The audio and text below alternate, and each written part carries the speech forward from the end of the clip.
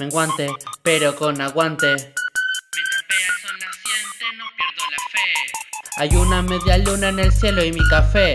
Hay un cuarto en mi cuarto y no sé por qué. Ahora estoy en ayunas, creo que es desde ayer. Hay un cuarto en mi cuarto y no sé por qué. Hablé con mamá, la vecina y papá sobre una inquietud. ¿Me podrían ayudar? Tal vez ustedes podrían explicar por qué hay un cuarto en mi cuarto y no sé por qué. Me dirigí rumbo a la ciudad. De paso compré queso, pan y cereal. No recuerdo qué hice, solo que vi al llegar que hay un cuarto en mi cuarto y no sé por qué.